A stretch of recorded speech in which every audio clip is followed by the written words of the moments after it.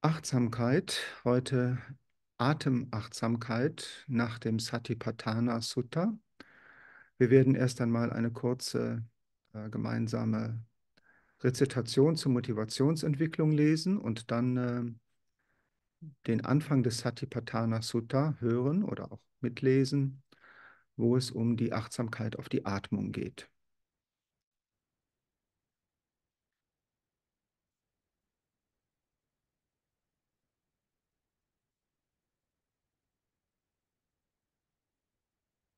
Wir erkennen die Kostbarkeit dieser Meditationssitzung. Jetzt haben wir die Gelegenheit, unsere Achtsamkeit wachzurufen und Friedfertigkeit zu kultivieren. Unsere ruhige Meditation soll dazu beitragen, dass wir der Frieden sein können, der in der Welt so dringend benötigt wird. Wir sind so geistesgegenwärtig wie nur möglich, um hier und jetzt eine wache und freundliche Präsenz zu kultivieren, die es uns ermöglicht, mit uns und anderen achtsamer, geduldiger und freundlicher sein zu können.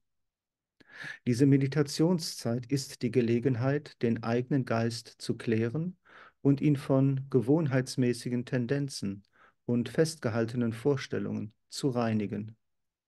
Durch das Hervorbringen einer gelassenen und ruhigen Präsenz, der Bereitschaft, Leidvolles in uns und bei anderen wahrzunehmen, zu besänftigen, anzuerkennen und die Kräfte der Herzenswärme zu wecken, möge sich der Nutzen dieser Übung entfalten.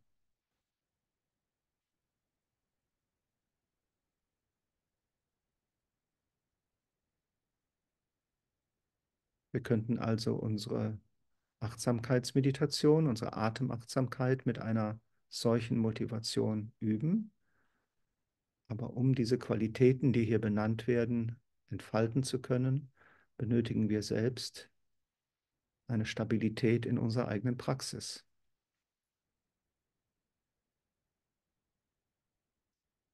Und wir können um geistigen Schutz für unsere Übung bitten, indem wir uns auf eine spirituelle Kraftquelle wie die drei Juwelen ausrichten. Bis zum Erwachen nehme ich Zuflucht zu Buddha, Dharma und Sangha. Durch die Praxis von Großzügigkeit und der anderen Paramita möge ich zum Wohl aller Lebewesen das Erwachen finden.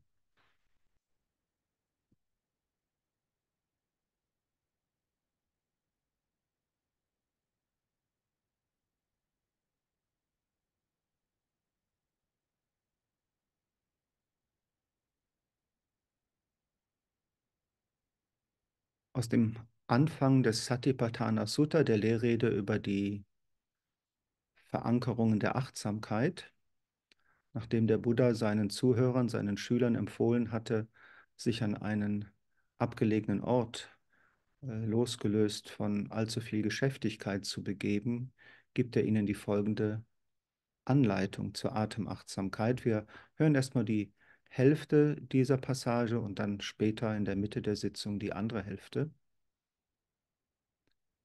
Und wie ihr Bhikkhus, ihr Mönche, ihr Schüler, verweilt ein Bhikkhu, indem er den Körper als einen Körper betrachtet.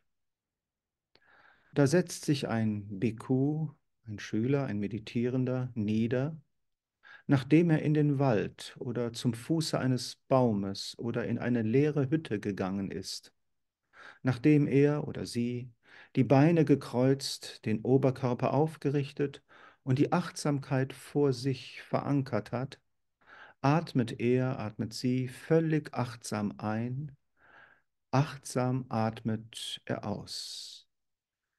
Wenn er lang einatmet, versteht er, ich atme lang ein.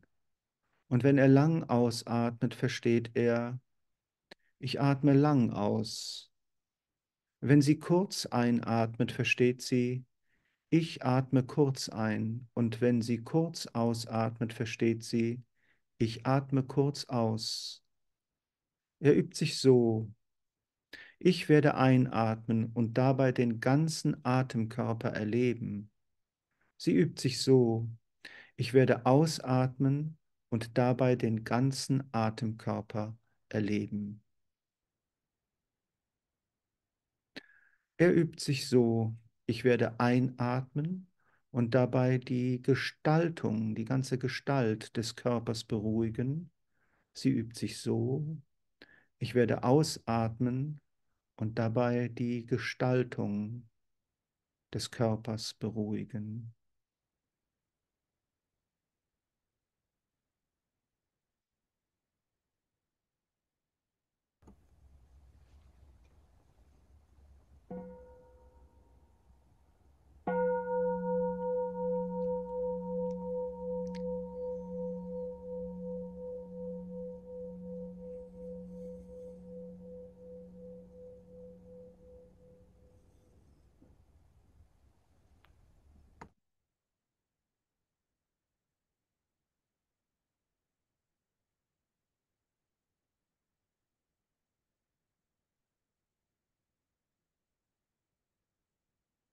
Wir haben also jetzt diese Einladung oder Anleitung des Buddha, einfach zu sitzen und bewusst zu atmen, vernommen.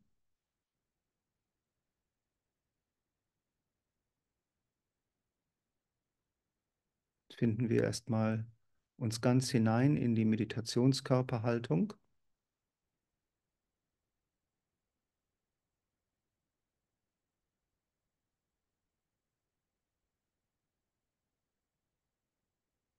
Die Erdung nach unten hin ist wichtig, um uns ein Gefühl von Stabilität zu verleihen. Die Aufrichtung nach oben, bei der wir auch Raum schaffen im Körper und den ganzen Körper ähm, in unsere Achtsamkeit einbeziehen.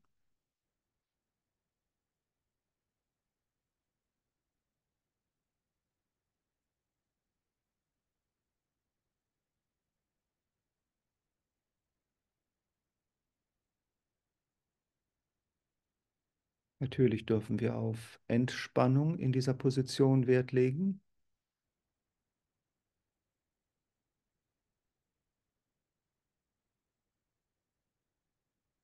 Und dann begegnen wir, so sitzend, der natürlichen Atembewegung, die sich ganz von selbst ereignet.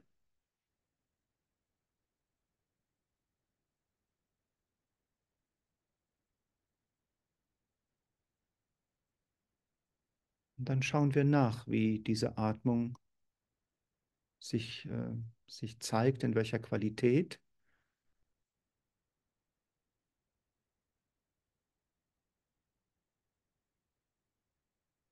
Sind uns der Einatmung wie der Ausatmung gleichermaßen gewahr, wenn sie geschieht.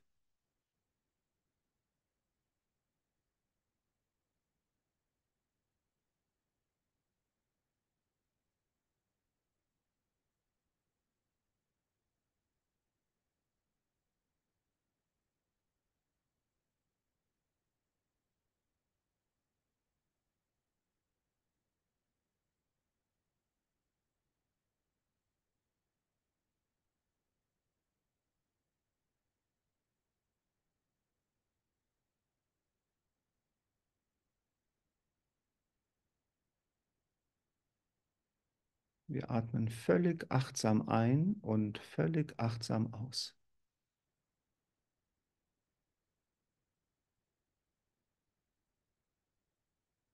Sind ganz dabei, während die Einatmung geschieht und ganz dabei, während der Ausatmen geschieht.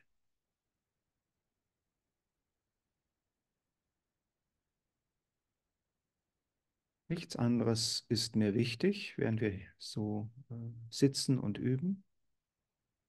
Die Welt darf sich ein bisschen zurückziehen aus unserer Wahrnehmung und aus unserem Interesse. Der Atem steht ganz im Mittelpunkt unserer äh, Geistesgegenwart.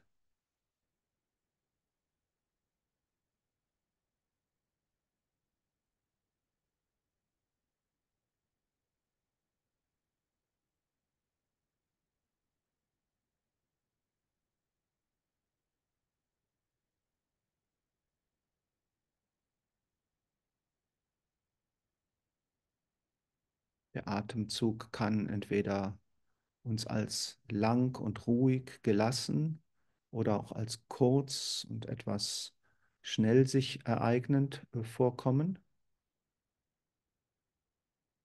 bemerken wir, wie es ist.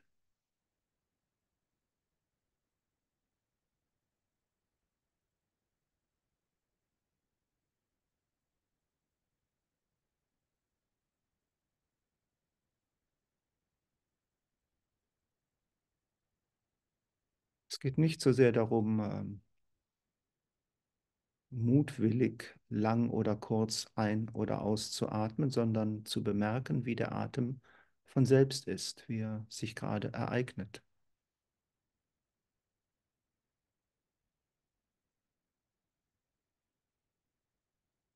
Und wenn wir bemerken, dass wir lang und ruhig und gelassen einatmen und auch ausatmen, dann wissen wir, wir atmen lang und ruhig und gelassen ein und aus.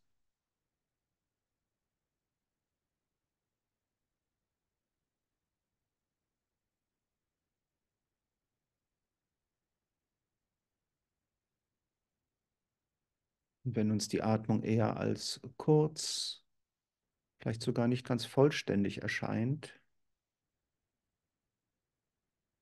wenn wir auch nur kurz dabei sein können mit der Achtsamkeit, dann wissen wir auch dies.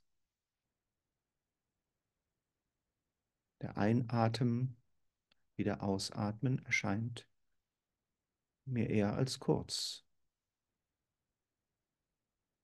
Lang oder kurz.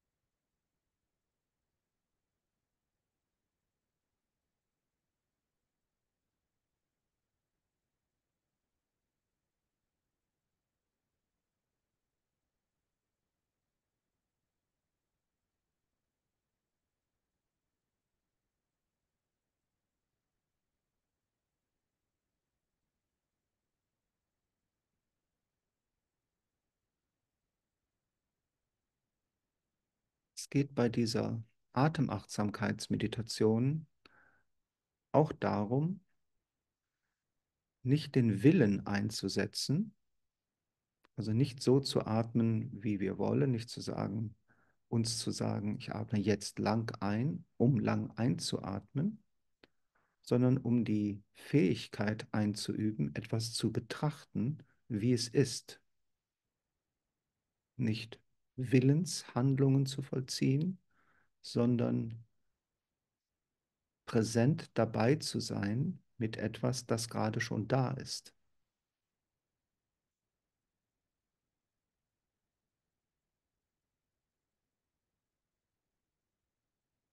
Eher so, als würden wir einem Fluss zuschauen, den wir nicht beeinflussen können in seinem Fluss.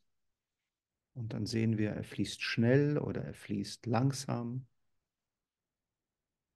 fließt äh, gemächlich oder hastig.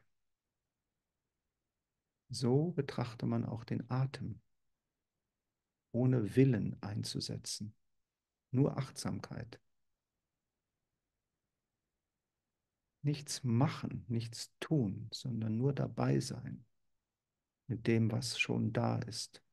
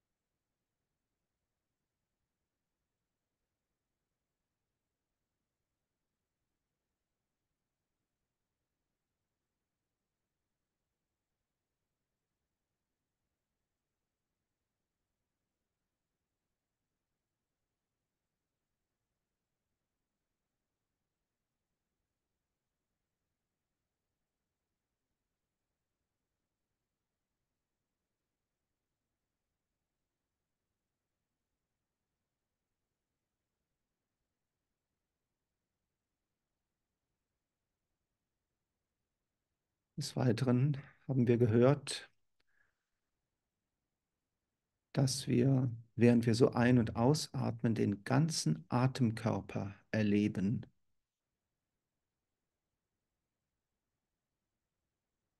Wir werden uns des Körpers, in dem die Atmung geschieht, gewahr.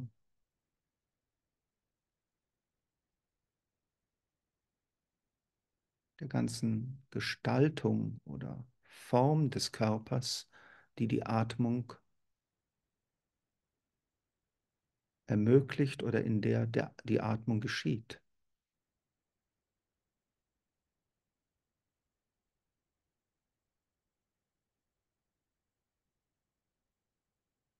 So werden wir uns auch allmählich des hier sitzenden Körpers als Körper gewahr.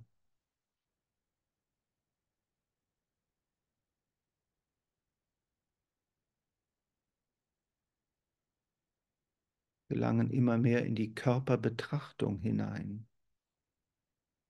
in der sich der Atem als äh, Bewegung ereignet,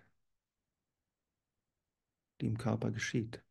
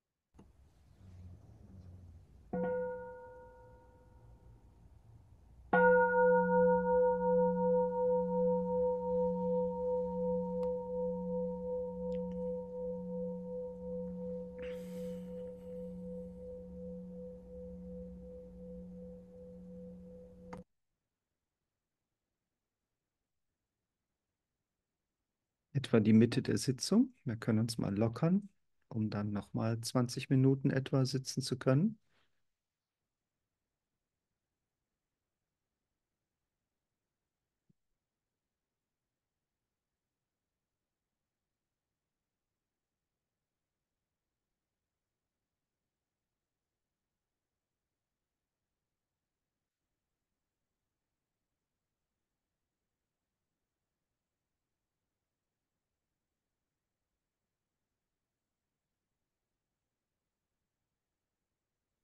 Hatte ja eben versucht äh, zu ergänzen, dass es bei dieser Art äh, Achtsamkeit auf den Atem und den Körper zu üben sicherlich auch darum geht, die Willensfunktion herauszunehmen aus unserem Erleben, aus unserem Tun und wirklich in eine Perspektive des Betrachtens hineinzufinden. Und dies gilt jetzt auch für die Körperbetrachtung. Normalerweise machen wir immer was mit dem Körper, aber Achtsamkeit auf den Körper bedeutet, den Körper als Körper einfach wahrzunehmen, wie er sich gerade zeigt, einmal innezuhalten, ruhig zu werden und dann anzuschauen, was sich als Körper zeigt, wie sich der Körper uns gerade zeigt. Da könnte man dann noch weitergehen in die Empfindungen und später auch den Geist betrachten. Aber hier sind wir jetzt am Anfang des Satipatthana Sutta, in dem, was wir hier gehört oder gelesen haben. Da geht es nur um den Atem im Körper.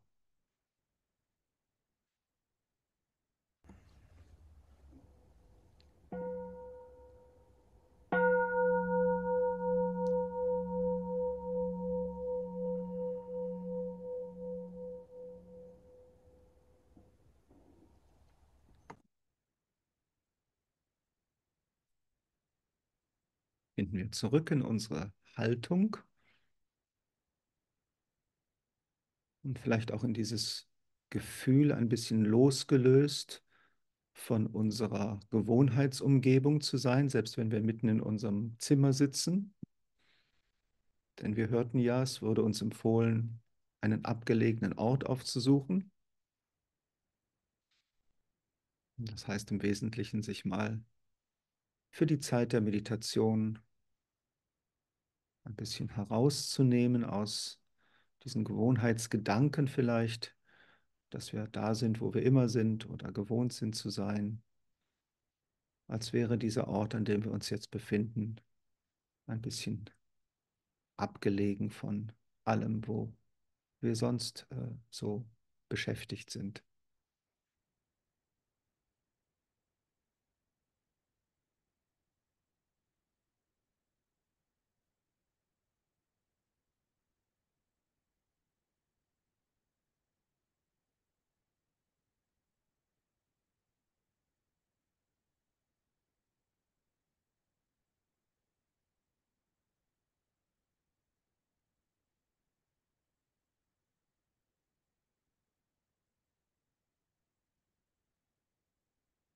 Der Buddha fährt fort, seinen Zuhörern äh, dies zu erläutern.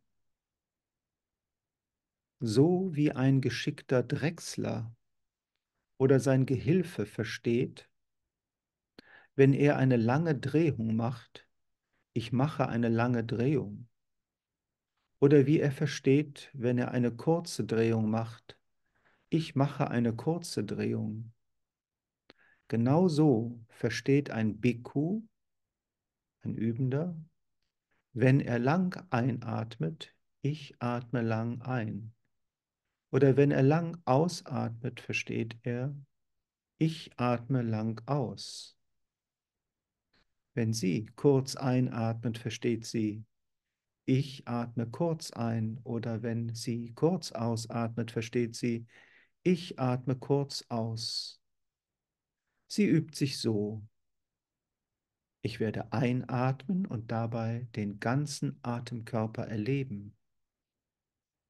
Er übt sich so, ich werde ausatmen und dabei den ganzen Atemkörper erleben. Er übt sich so, ich werde einatmen und dabei die Gestaltung, die ganze Form des Körpers beruhigen. Sie übt sich so, ich werde ausatmen und dabei die Gestaltung des Körpers beruhigen.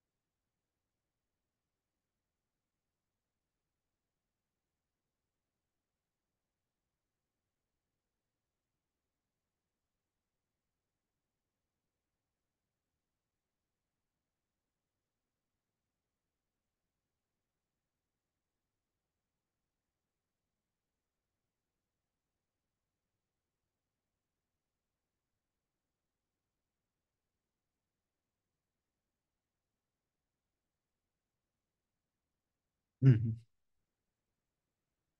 Für jene, die auch die Shamatha Geistesruhe-Meditation kennen und sie gelegentlich praktizieren, sei hier noch einmal auf diesen feinen Unterschied hingewiesen.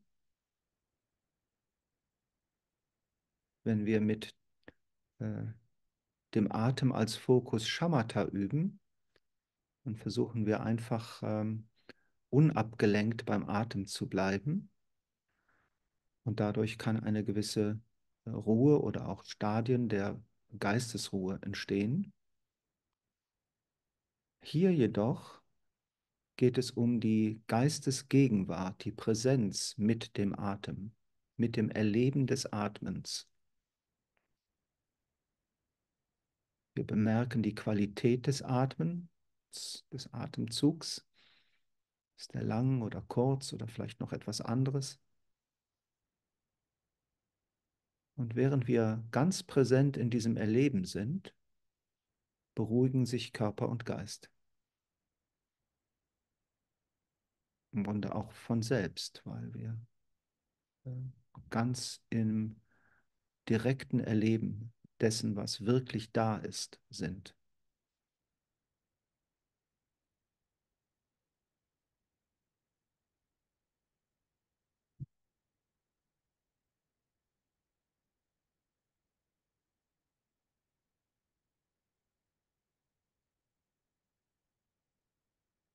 Und wir erkennen oder wissen auch, was wir erleben.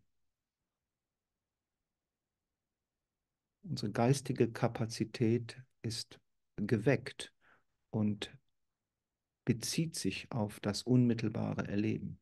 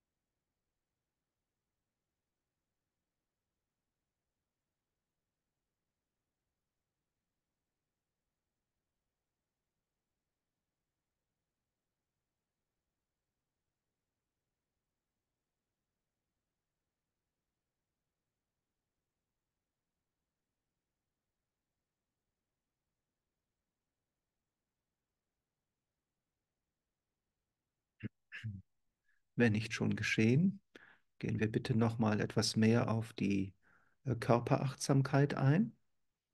Der Atem bewegt sich durch den Körper. Wir können uns auch vorstellen, er würde sich durch den ganzen Körper bewegen.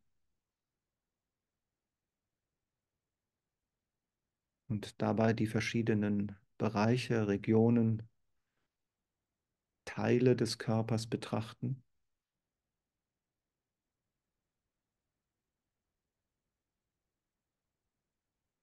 Womit wir natürlich etwas mehr in den Bereich der Vorstellungen übergehen würden, vielleicht das direkte Erleben zunächst zu verlassen scheinen, aber es geht darum, ähm, eben auch die Körperregionen, die verschiedenen Aspekte des Körpers zu bemerken äh, in ihrem Vorhandensein, in ihrer äh, Gegenwart. Die sind jetzt hier in unserer Sitzhaltung ähm, zugegen und wir können sie betrachten.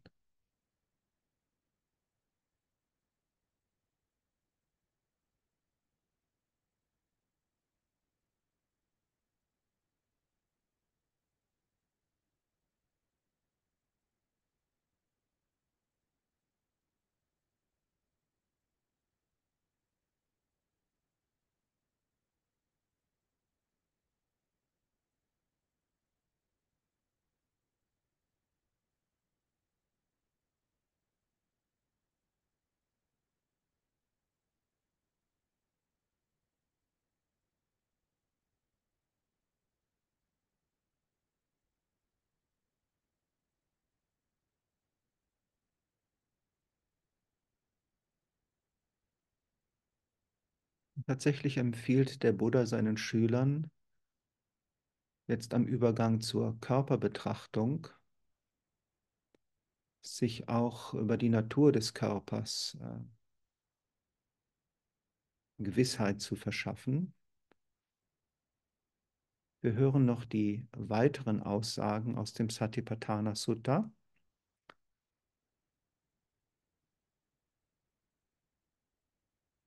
Auf diese Weise verweilt er, indem er den Körper innerlich als einen Körper betrachtet, oder er verweilt, indem er den Körper äußerlich als einen Körper betrachtet, oder er verweilt, indem er den Körper sowohl innerlich als auch äußerlich als einen Körper betrachtet. Oder Sie verweilt, indem sie die Ursprungsfaktoren im Körper betrachtet. Oder sie verweilt, indem sie die Auflösungsfaktoren im Körper betrachtet. Oder sie verweilt, indem sie die Ursprungs- und Auflösungsfaktoren im Körper betrachtet. Also das, wodurch der Körper entstanden ist und das, wodurch der Körper auch vergehen wird oder seine Möglichkeit, sich wieder aufzulösen, auch zu betrachten. Oder die Achtsamkeit, dass da ein Körper vorhanden ist, ist einfach in dem Ausmaß in ihm verankert, das für bloße Vergegenwärtigung und Achtsamkeit nötig ist. Und er verweilt unabhängig, haftet an nichts in der Welt an. Auf jene Weise verweilt ein Bhikkhu oder eine Bhikkhuni, indem sie oder er den Körper als einen Körper betrachtet. Das aus der wörtlichen Übersetzung des Satipatthana von Analayo Bhikkhu.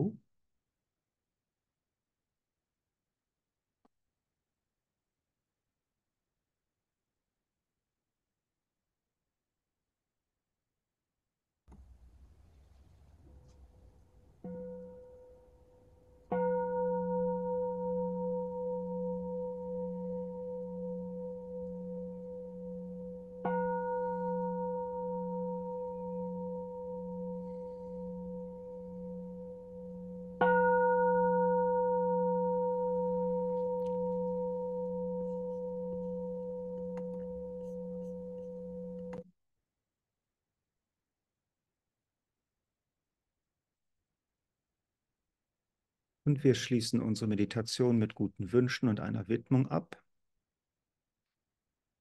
Wir widmen alle unsere Bemühungen, unsere Übung in Achtsamkeit, Geistesruhe, wacher Präsenz und Herzenswärme, dem Frieden in der Welt und in den Herzen aller Lebewesen. Möge diese Praxis uns befähigen, für andere da zu sein, mit dem Herzen ganz anwesend zu sein und mit uns selbst und anderen Freundschaft schließen zu können. Mögen wir so unsere Verbundenheit mit allen Lebewesen erkennen, wertschätzen und zu einem Mitgefühl ausstrahlenden Wesen werden. Mögen wir dazu beitragen, die Unruhe, Nöte und Ängste, die geistigen und körperlichen Leiden, die wir selbst und andere erfahren, durch unsere Achtsamkeit und freundliche Anwesenheit zu lindern und zu überwinden.